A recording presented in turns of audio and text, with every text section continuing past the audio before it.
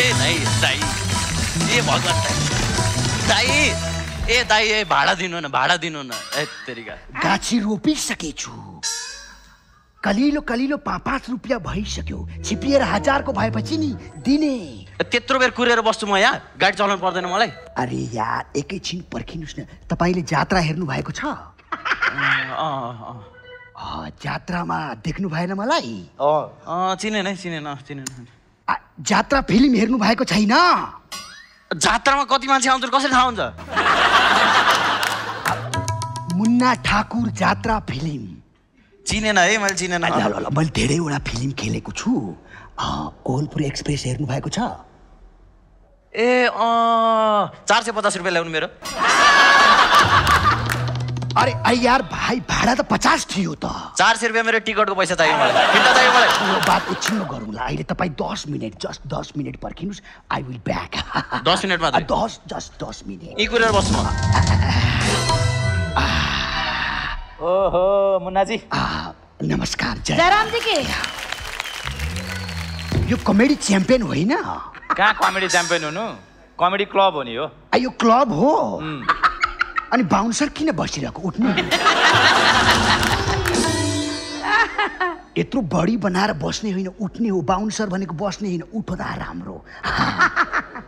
खास म यो प्रदीप भट्टराई छैन उसलाई खोज्दै आइरहेछु। प्रदीप भट्टराईलाई? जात्राको पैसा दिएकै छैन। यो प्रदीप भट्टराई भन्ने मान्छे छैन। अँ। उसले मलाई राम्रो त गर्यो तर फसायो पनि। कसरी? जात्रा फिल्म खेलेपछि मुन्ना ठाकुर हाय हाय चलचित्रमा खेलेको खेले। अरू कलाकारलाई भेट्दाखेरि के हुन्छ? आउनु सेल्फी प्लिज।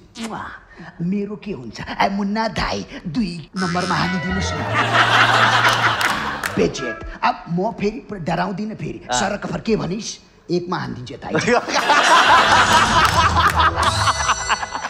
दुईटालाई त मैले दिपाजी छुरा पनि लगाइदिएँ। कैँची लगाएर पछाडि छुरा लगाउँछ के त्यो? अब यो इन्डस्ट्रीमा धेरैवटा काम गरियो। कुनै कुनै फिल्मले त फिल्मको नाम अनुसारको पैसा दिने। एउटा फिल्ममा काम गरे। जे फिल्मको नाम थियो वही नै पैसा दियो दुई रुपियाँ। अब उहाँ बााउन्सर ज्यूको पनि एउटा सिनेमा गरेको थिएँ मैले। तपाईँलाई एउटा कुरा भन्छु। नरिसाउनु ल। हुन्छ। तपाईँले कोहलपुर एक्सप्रेसमा जति पैसा मलाई दिनुभएको थियो नि। हो त्यसमा दस हजार माथिबाट थपेर दिन्छु। प्लिज युट्युबबाट कोहलपुर एक्सप्रेस हटाइदिनुहोस्। मार्यो मार्यो। मेरो सासको सबै घरबाट फोन गरेर मेरो पैसा कहिले पठाउने भनेर वाक्का लगाउँछ बेजत भइसक्यो प्लिज। यहाँ भट्टराई आउँदैन? प्रदीप भट्टराई। यहाँ किन आउँछन् त नि अनि प्रदीप पैसा भट्टराई लिनु थियो यार जात्रादेखिको मिलाउनु पर्ने त्यो मान्छे आउनु पर्ने हो यहाँ। अँ, हेलो विशालजी। हजुर। होइन नढाक्नु न कहाँ हुनुहुन्छ? म प्रदीप भट्टराई ए म यहाँ कमेडी क्लबमा। अँ, सिजन वान र सिजन टू कमेडी च्याम्पियनको पैसा दिनुपर्ने छ। अँ, विशालजी। हजुर। हजुर। विशालजी। आज सबैले भयो। एकचोटि उठ्नु। हजुर। विशालजी मलाई चाहिने मान्छे हो। आमामामामा। ओरिजिनल रविन्द्रजी ए, तपाईँ ओरिजिनल प्रदीप दाईलाई चाहिने मान्छे हो। डिरेक्टर साहब तपाईँ फिल्मको प्रिमियरमा चाहिने मान्छे हो। अनि उहाँ? उहाँ चाहिँ कहिलेकाहीँ नचाहिने मान्छे हो। प्रदीप जी यो सोलाई म जस्तै।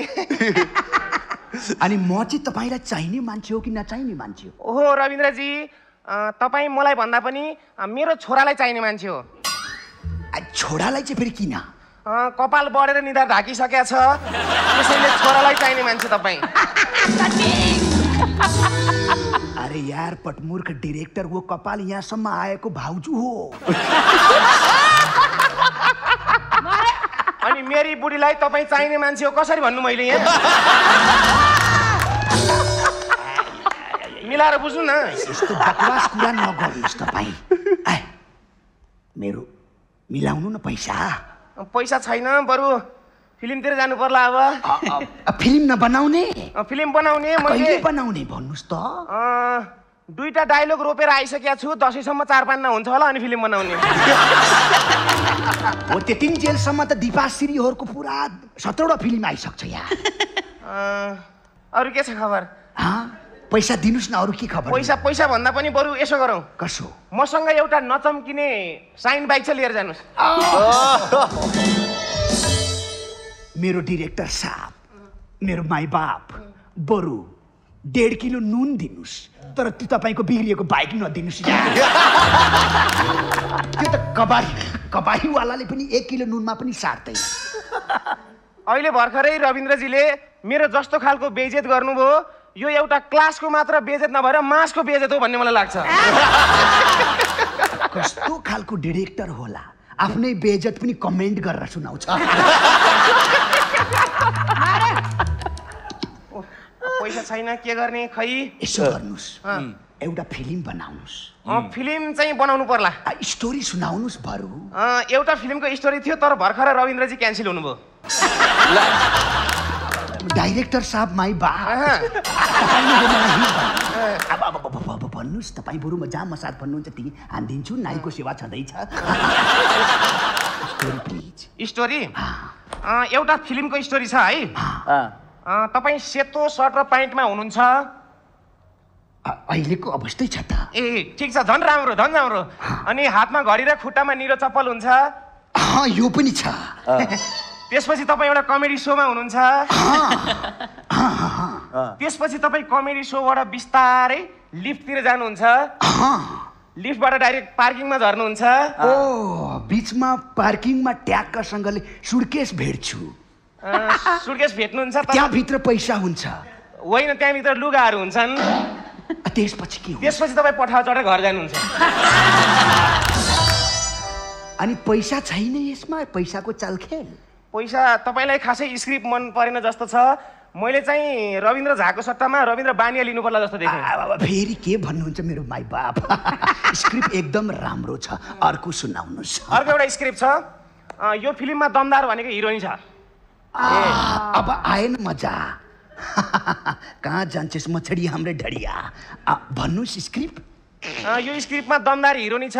हिरोनीको जस्तो लाग्ला तपाईँलाई। हिरोनी चाहिँ Chhakka my favourite my darling Priyanka Karki होइन होइन छक्का पन्जाको ओ वर्षा राउत होइन छक्का नम्रता सापकोटा छक्का पन्जाको डिरेक्टर दिपाश्री निरौला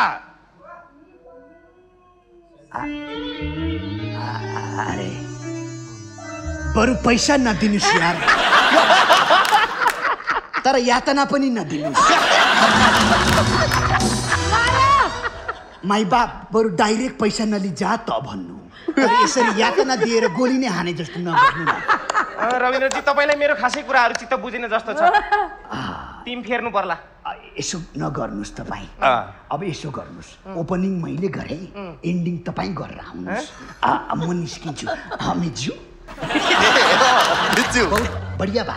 एकदम फ्यान्टास्टिक बहुत म तपाईँको फ्यान हुँ अब आज यस्तै भयो यो केटासँग गर्दाखेरि। फोटोकपी देखिरहेको कलिलो कलिलो भित्रपछि गाँची